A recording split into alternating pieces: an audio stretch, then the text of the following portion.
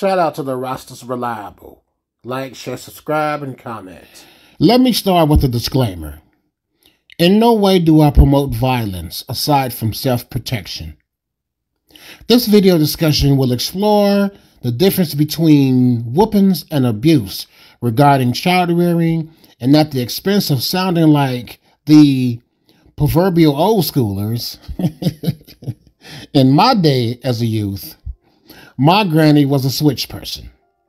My aunt was a capital punishment person. So, for example, my aunt's husband was an avid coffee consumer who smoked the stuffed tobacco pipe, and he would buy the large clear container of pipe tobacco that smelled good to me in cooperation with the smell of freshly percolated coffee in the air uh, when I when I would go and visit. When that container was empty, my aunt filled the container full of dimes. Me, being the ever so curious child, discovered the container full of dimes that literally looked like discovering a gold mine. I began stealing the dimes. I don't know why I was doing that, or how my aunt and or and or her husband knew that I was taking them, but they knew nonetheless. I remember her grabbing my arm and taking me into the kitchen, turning on the stove top to a high flame, and speaking the speaking words of of discouragement, of of stealing, while moving my hand closer and closer to the flame. I do not know how I still feel what I felt then now, but I do. And I am in my mid 40s, mind you. As stated, my granny was the type to tell you to go out and cut a switch. Now, this type is far worse than the switching itself because the mentality of going to get an item, knowing pain is coming, could be enough to persuade one from doing whatever incited the punishment from the jump.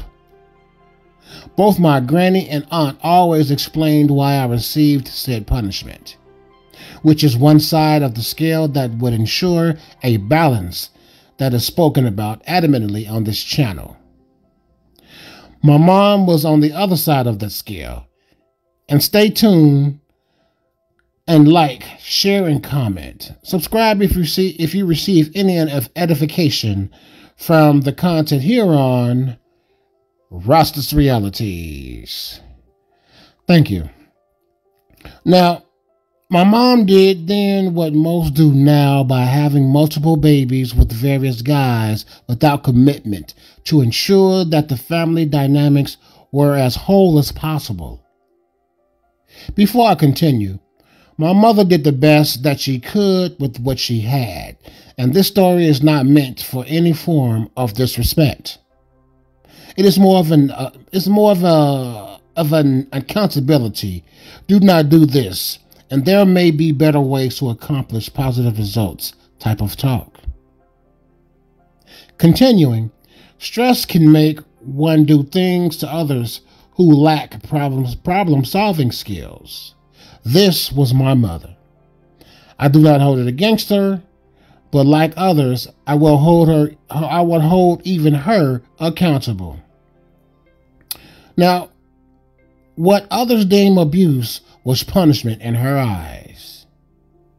My mother was the punch you square in the chest, extension cord, broomstick swinging, slap you in the mouth type.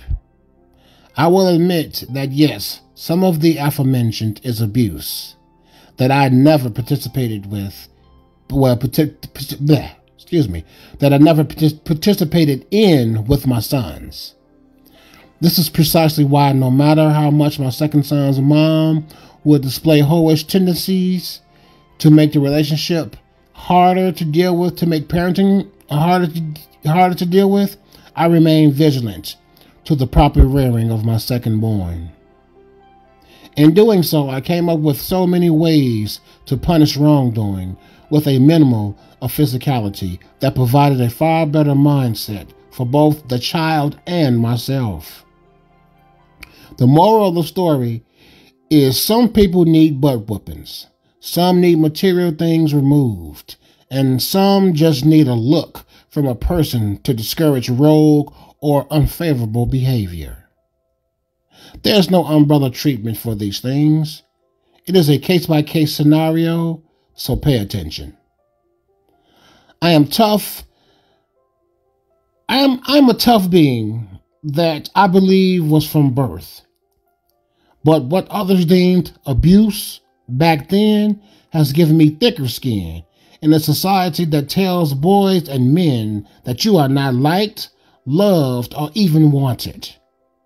We all know that is a lie, as I share some insight on me, and that's the reality.